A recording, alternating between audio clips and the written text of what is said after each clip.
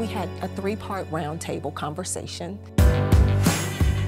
That some of the challenges you may be experiencing, you're no different than me. There's someone there that looks like me, like representation matters. Having come from a time where I was the only black person in the building till today where we've got diversity unlike we've had in the past, it's exciting.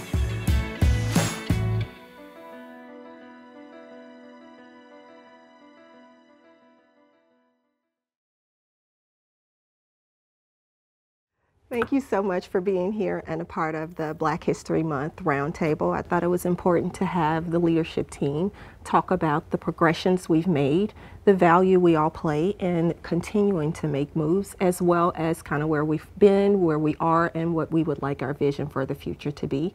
Um, I think it's important that everyone understands who's at the table and how we all got here. And so I would love if each of us just talked a little bit about our journey to get to where we are today. Um, so just tell us a little bit about who you are and and how you got to be in the position that you're currently in. We'll start with you, Shannon. All right. Um, so I have been here with the Titans almost two, two uh, years now, full two seasons. And before this, um, so I lead our finance team. Before this, I was in public accounting here in Nashville with a company called EY and um, did that for a little over 10 years. And it just so happened that the Titans were one of my audit clients, actually. And so I got to um, audit the team for a little over three seasons and really just through building relationships and building networks with the, the folks here, um, was able that when this position came up, um, I was considered for, for the role. And very excited about that. Um, sports, outside of uh, being on this audit team, sports, I wasn't in the sports industry, and also being a female as well. Um, it was very humbling to even be considered for this role. Yeah. Um, and so I joined the team uh, back in March of 21 and uh, it's been a whirlwind ever since. It's been a lot of fun, uh, a journey with a lot of a lot of new folks here as well, and um, started just on the finance side, but then got to roll up and work with our uh, people and culture and HR teams. And so diversity has been a big part of all of the new initiatives that we're putting into place, and it's been a fun, fun ride, just kind of getting to create create new things uh, since I've been around. Awesome. So, yeah. What about you, son? Mm -hmm. Uh, this is my, well, I just completed my third season uh, with the team um, and approaching my 10th in the NFL. Um, I came to the Titans during COVID, which was a fun transition. Um, uh, I, I, wasn't I wasn't expecting that type of experience, and um, let me tell you, it was it was actually easy to slide in here because of how uh, everyone was so welcoming, and everyone kind of just brought me in. And you know, the role that I do, um, not every team has it, and we have this vision of, of, of having a premium brand. So I get to do what I do, and I get to be a champion of, of the brand, and our team gets to make really great work. Uh, prior to Titans, I was with the Miami Dolphins, and then prior to that, I was in advertising for many years. So I get to, uh, I, I, joke that I have the best job in the, in the organization. So. what about you, Burke? I think it's interesting listening to them uh, talk, and I know Tina, your journey, you've been with this organization for a couple of decades now, and it, it's okay, it's, okay, mm. okay. you're, you're uh, institutional knowledge, right? Right. Yeah. I, it's uh, it's really interesting that yeah. um, I think a lot of us feel this way. It's it's this is a really special organization. It's a really special time to be here, and the the different journeys that some of them are very traditional sports journeys, others others not at all, and there just feels like it's a sometimes there's a story that's writing itself, and, and a lot of us are you know really lucky to be written into it. My my journey was uh, certainly non-traditional to be in a position like this. Um, I'm an attorney by trade. I grew up in the Chicagoland area and had had been working as an attorney in private practice and for some some corporations for 15, 16 years. Um, I actually uh, saw an advertisement on LinkedIn for the general counsel position with the Titans, and I thought, man, some lucky person's gonna get a really cool job. And uh, my family encouraged me to apply, and I did, and uh, was really excited to make it through the process, and, and came down here in 2016. Just a couple years after uh, Amy had stepped in, Amy Adams Strunk, our controlling owner, had stepped in as controlling owner, and so there was a lot of change in the organization. Uh, there was a new energy uh, that, that was part of the organization. We got to work on some really fun things. Um, perhaps most fun was the NFL draft uh, during my time as general counsel. And just as COVID was starting, our previous uh, president and CEO, Steve Underwood, who's incredibly uh, generous man, mentor, friend of mine, uh, he decided, you know, COVID, this It's thing time. seems like it's going to have some staying power and, and is, is hard. He I had already retired once, and so decided to retire again, and was really honored uh, when Amy asked me to step into his position. Yeah. I think we've all said very similarly how important our culture is, right? And and what the value that it plays into having a successful organization or this being the best job you've ever had, you know? Um, and so when we think about culture and uh, our effort to continue to be progressive in that space, like what, what comes to mind um, from a cultural standpoint point internally and what we present ourselves to those people in our community as well? Yeah. I think first and foremost, our employees. I mean, I think that our employees are incredible, and they're kind of the ones that are championing championing that. Um, and really, I mean, it starts with Amy, also with our owner, Amy Adams Strunk. I mean, she's got um, this kind of family atmosphere here. Of uh, yes, we're the big NFL, but we're a privately held, family-owned company. And so I think it, it starts with kind of that Amy's tone, and then really just hiring the best uh, the best employees that are you know they're not settling for anything. They want a, a great great culture great purpose driven um, organization to work for. And we're we're building that. Yeah. I hadn't been here very long, and one of my favorite colleagues, I, I, I won't name him, but uh, we had talked about uh, some some things that he just he, he wanted something different in, in terms of what he was seeing in his experience. It was just it was all you know very uh, kind of work and goal related and things like that. But uh, he decided to, to leave for another organization, and I remember asking him, you know, what was ultimately the final decision, and um, he said something about culture.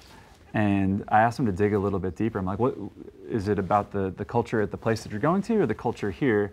And his answer was, I don't know that there is a culture there, which I don't think was an entirely um, uh, accurate comment. I'm not, sure I agreed with it, but I think the thing that was that stood out to me about that comment was kind of a transition moment for me of saying we have to be so intentional about what we want out of our culture. If, if there's any employee who's not sure what our culture is or that we you know have a culture, um, we've got to be on purpose about you know what we stand for, uh, you know what our values are.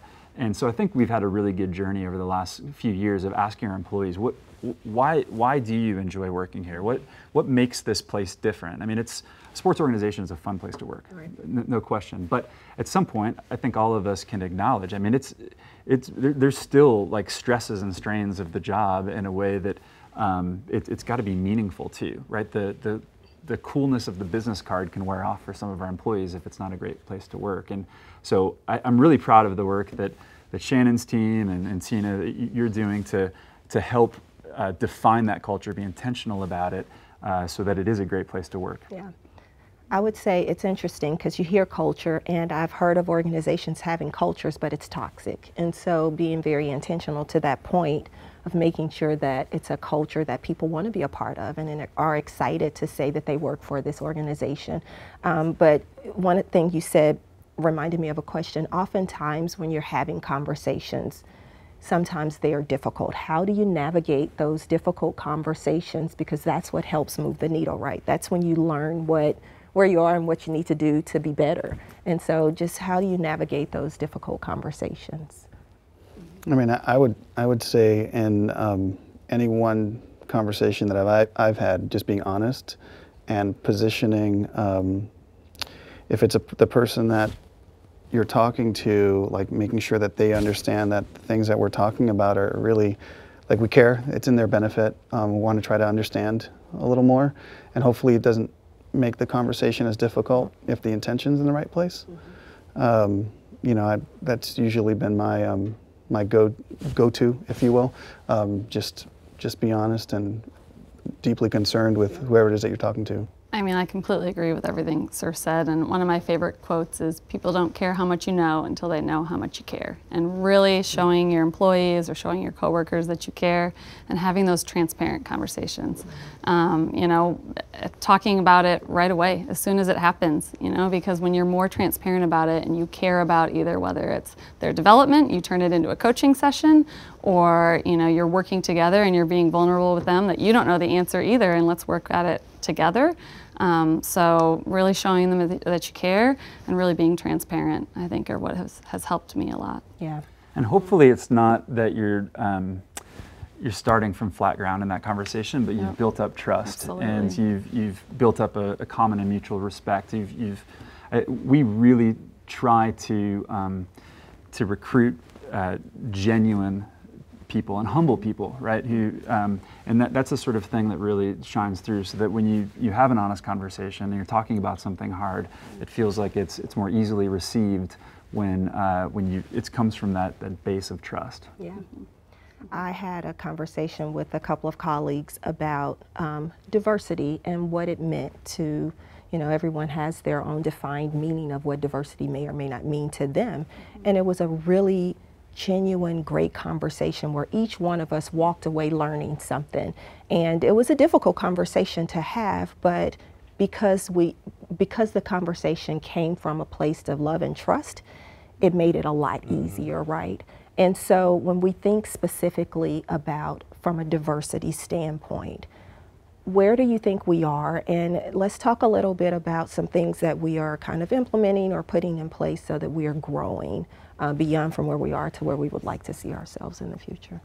I mean, I would say already from a hiring practices perspective, from you know the employee side of just our organization as a whole has grown a lot, just employee size, and with that, we've been able to kind of cast a broader net on new opportunities for folks, um, whether that be full-time roles or even internships or fellowship programs, trying to do um, be more intentional on as we're growing. Um, you know, we're we're casting that broader net from a hiring perspective is is one that comes to mind. Yeah. Mm-hmm. I, I think you're probably going to hear that word intentional a lot in this conversation because I think that's where it starts. Is you you, you, you can't just um, by by want and will be effective in, in places that you want to grow. And, and diversity and inclusion is certainly one of those places where you've put a good deal of intention around it. Recruiting is probably the easiest example of it, it's one thing to um, to, uh, to, to care about diversity in your workforce. It's a completely other one to actually build some systems and programs to, and, to hold, hold yourself accountable yeah. uh, from a recruiting perspective to, you know, always casting a wide net and, and just having the right processes in, pr- in place. Um, I think it, for us as an organization uh, in a city like Nashville, being an NFL team, being so uh, integrated into this community, I think it goes beyond our walls too recognizing that uh, we are leaders in this community. Uh, we have opportunities in this community to, um, uh, when, when we have projects yeah. um, and we're recruiting vendors, to recognize the opportunity that we have to, to, to you know, be, be growing local businesses and making sure that, that those businesses are representative of our community too in, in terms of diversity. Uh, and so we are look to your to your question about the journey like it's we're not where we ultimately want to be i don't know that this is something where you should ever really be satisfied but we are as often as possible being intentional about adding the right programs doing the right sorts of things to make sure that we can live into it's it's it's a value that's important to us but putting in those those those programs and those systems to to hold ourselves accountable to living out those values and I think, too, it, as you mentioned, it goes beyond these walls. Um, some of the things we've done from a creative standpoint speak to that, and that's really impactful when other people see the recognition that we're providing um, beyond just the walls of the organization. Surf, if you should talk about, and, and yeah. maybe, maybe even, yeah. I, I, think we all know what, what we're talking about here, but maybe even going back to the inspiration for um, that project. So, um, you know, we have a tremendous opportunity with the platform that we have to shine a light in our community in places that normally they just don't have that type of exposure. So it's a responsibility that we we enjoy having, quite honestly, when our heart's in the right place. And so um, every year, you know, the, the, the schedule, the NFL schedule is announced, and it's a big secret, it's a big to-do, and it's, it's become a kind of a creative flex for all the teams with each other's competition. Um, this last season, instead of using the moment to just try to be the most creative we can be and, and, and that was and end it there, we decided to use the moment, knowing that everyone's going to be looking at us, to shine the light on local businesses, specifically in, on the Jefferson Street area, because we wanted to celebrate these local businesses that just normally don't have a voice with a platform like ours. Right. Right. And if we are going to be real stewards of our community, like why not? Right. Right. And so that became uh, an ongoing thing. We and, and we were able to create a program where I mean I mean you know that we're we were highlighting these businesses every week at our home games, and I don't I just find that it's it's such a tremendous um, uh, joy when you have these quote unquote mom and pop shops, Yeah. people who are just really building their their business, and then all of a sudden, you know, you have this NFL team that turns around and says, no, no, you're you're here, you're with us too. Come on, come come on this journey with us. They felt right? seen.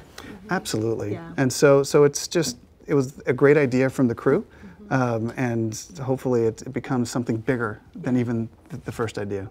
Do you remember the inspiration for the project too? That's I, I always thought that was a cool part of the story. Well, yeah, go ahead. We had we had the um, we had council member Sharon Hurt um, come speak to. We have we have a concept we sometimes call ten talks.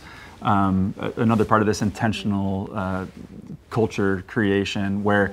It, it, it- can be about anything, right? And we've had we've had somebody from the military come talk about military experience. We've had people that come talk about it. It, it, doesn't have to be work related. It's just something that's it's an intersection with smart people, right? And, and Councilmember Sharon Hurt came in and she, she told our organization about the history of Jefferson Street. And um, uh, what I heard from members of your team was that that 10 talk from Sharon was, was inspirational to them. And it was about the time that you were thinking about the, the schedule release. And I, I just, again, it comes back to that, that mm-hmm. intentionality of you know, delivering this this this information from Councilmember Hurt to the organization that ultimately led to what was, I mean, just a really really cool project. Oh, yeah, we were fired up. Yeah. We were so fired up just to hear about that extra layer and story and narrative of our community, of our backyard. that truly is leadership to me. When I think about leadership, you're showing the value and using the brand in a way that's non-traditional, right? Um, but you're educating your staff in the process about things that they may not uh, ordinarily know otherwise. Um, and so if, if, if there are leaders with other organizations or companies looking at this right now and thinking about how can I use my platform and the organization that I work for to lead the space and the charge and the DEI, like what advice would you give to leaders in the community that are interested in doing that? I think some of it I, I've already said, but it's worth repeating. I do think it starts with, you know, defining that it's a value, right? And but then building the intention around it and, and having some some processes and systems to make sure that you're holding yourself accountable. Um, I, I think I would I would say to, to leaders to also look to your unique business and your unique opportunities and platforms. Um, what's interesting is a lot of the people from our organization that have joined recently uh, did not work in sports, did not work in in the NFL, and so um, we I think bring this unique perspective of oh my gosh, the power of this organization and the, uh, of our platform and and our um, our influence in this community. When pe- people look to us as leaders in this community and they, they want us to lead this community, um, and so we, we have really powerful creative team and, and social media channels. We we have um, you know a, a powerful network uh, in this community. Um, that's our story right? I, for, for leaders of other businesses, their story is going to be something different. Their opportunities are going to be, be different. But you know, if every business were to take a look at where they can have that influence, what their platform, uh, you know, how it can be used, um, this could be a really uh, wonderful and inspiring community. And I would say listening to your employees or your fans or customers in that sense too, because when you find things that are aligned, then you get those passion projects and everybody is rowing in the same direction. And um, a lot of, you know, we're, we're doing employee pulse surveys or we're doing things where we're trying to find, you know, what is that makes our employees tick. And then, you know, when we're connecting those passions together, it just makes for something that's really special. Those 10 talks that Talked about, our tagline is employees worth inspiring. So we bring in motivational speakers that are here just to inspire our employees, and it's really, you know, really fun thing to see when we can align our company's values with the things that our employees are most passionate about, and special things happen. Yeah. And when I think about the purpose of this roundtable is Black History Month roundtable, right? And the location of our facility sits smack dab in the middle of some of the most historic HBCUs in the country. Um, and I know there are a lot of students there with aspirations to work in sports, specifically their hometown team, the Tennessee Titans. Like, what advice would you give those students who have an interest in being in this building? I mean, we're, we're trying to do more outreach. Like Burke said, we're on a journey. Um, and so really we're starting, you know, internship program, a more robust one this year where, again, we're trying to be more intentional and also a fellowship program as well of just, again, using our platform to help, help, help students and cast that wider net. So that's one that um, we're really excited to roll out a, a more robust program this year. Yeah um, and to hit those those folks that they're they're passionate and they're right in our backyard. We don't even have, we don't have to go across country. Yeah. Um, they're right here. Yeah. yeah. Mm-hmm. We uh, we've got a, a, really long history with Tennessee State University in particular. We we actually share a stadium uh, for a few games a year. Tennessee State plays home games at Nissan Stadium and. Um, we, we have had conversations with the administration leadership over at Tennessee State over the last couple of years about what does the next generation of of a partnership look like with Tennessee State University, far beyond just sharing a facility? Um, you know, we're, we're passionate about, again, understanding the power of our platform and, um, and the opportunities that we can provide. And we've got some really, really exciting things in mind with, with internships. Uh, we've, we've talked about um, actually sending some of uh, our executives over to Tennessee State University to be adjunct professors. Um, there's, uh, there's, there's really neat things that we have in mind. Uh, Meharry Medical College, uh, we're actually uh, hosting annually a, uh, a medical school, uh, school student to have internships in our sports medicine department, hoping, hoping to increase the, the representation among trainers and medical staff in the NFL. so we, it's, we're really, really blessed to have three great HBCUs in our city, and we're, we're paying attention to how we can, through that intentionality again, uh, ultimately uh, just increase the, the level and effectiveness of those partnerships. Yeah, you spoke, you said representation, and that stuck out a little to me because whenever I'm out in the community and I see young African American students, and they're always so excited to see me in the position with the sports team. And most recently, you know, we hired our first black general manager and I've heard and I've heard from so many people how excited they are to see that and so you know I think inclusion and belonging is very important and that shows or that sheds some light and gives some hope to students that have a desire to one day be here they now can see themselves and that representation piece is very important um, when we think about our staff and we talk a lot about our culture and how important it is for people to feel that sense of belonging.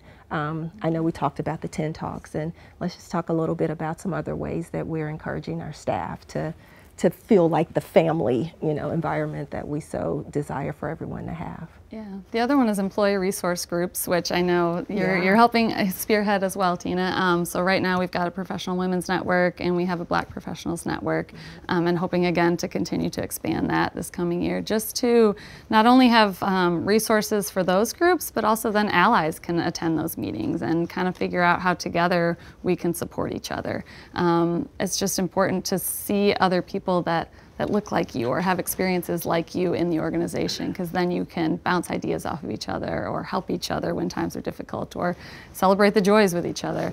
Um, so we've got those two networks uh, this year, but hoping to expand that already um, very soon. Yeah. So, yeah. You know, we also support our staff. Um, when they reach out and look for conferences or some external resources, like we we encourage them like like crazy to to make sure that um, you know they actually are looking, um, and and that there isn't really a you know financial burden you know to, to them, so they can actually gain education, gain exposure, network with others. Um, so that's that's another way in which we which we support them there very beneficial to me in my development was a lot of the professional development opportunities I was mm-hmm. able, I don't know that I would otherwise have had access to, and the organization supported those. And so I think that that's what's kind of helped and propelled me in my career personally. Mm-hmm. So mm-hmm. Yeah, that's really cool. I think that speaks to, again, everything that we've said thus far at the table the importance of hiring the right people, them fitting into the culture, and creating a culture where there's inclusion and everybody feels like there's a sense of belonging. If there was um, just in, in, in wrapping up, like if there was something or advice you could give to young individuals that are wanting to be a part of the organization, especially from a diverse community, what, what advice or what words would you give them? I, I, mean, part of the advice that I give to everyone who's who's asking about how they can get into sports or get in with the Titans is, um, you know, just really, really commit to being the best version of yourself and winning the day every day. Um, I think the very practical thing, though, is to um, be on the lookout for some of these programs that we're going to start to roll out with respect to internships, and um, uh, we're, we're going to have we're going to have some really broad ones that are uh, that are entry level, kind of game day related, where we've got lots of opportunities for people to get into the organization, get to meet people. Um, the, the reason why we're putting all these programs in place is because we want to meet the next generation of potential Titans employees uh, in, in really meaningful ways. And so I'd look out for those programs and, and, uh, and, and try to get in the mix. Yeah. I would just say networking and relationships, they matter so much. The smallest relationships, even if you're going and listening to somebody speak or stay after and talk to them, or if you're, you know, game day, getting in, getting your foot mm-hmm. in the mm-hmm. door, any kind of relationship that you can kind of begin to show folks that you're a hard worker and your character and you're genuine. Um, everything else can be coached, you know, but trying to plant those seeds in those relationships early and just as again as many people as you can. Um, that's how I got here. I, I built a relationship with the folks on the Titans team at that time, and you know never would have thought that I would be in the role that I am here today. Yeah. But it's because of hard work and building relationships. Awesome. Mm-hmm. Yeah, I'd say just get started. Don't be afraid to reach out. Um, a lot of times. Uh, especially students, mm-hmm. they're very apprehensive about reaching out to a team. I don't know anyone. Um, but I mean, with LinkedIn and things like that, there's so many tools out there. But just getting over that initial fear of just reaching out and having a conversation and just being curious, um, that opens doors yeah. and it's very non-committal. And honestly, we, we, we're looking for them. Awesome. Well, thank you all so much for being a part of the Black History Month Roundtable, and I appreciate your time today. Thank Thanks, you. Sienna. Thank you. Thank you.